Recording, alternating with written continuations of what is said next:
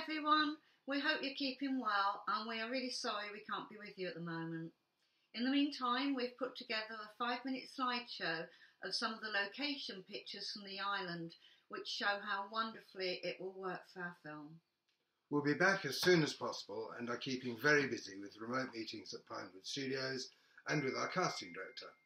Having signed off on the latest draft of the script, we can now start approaching A-list actors for the role of Gilliatt. We're also putting together a powerful sizzler that really demonstrates the dramatic story we want to tell. Keep safe, and we'll keep working to deliver this stunning film. Our website will be updated very soon, so please keep in touch. Thank you, um, bye bye. Bye.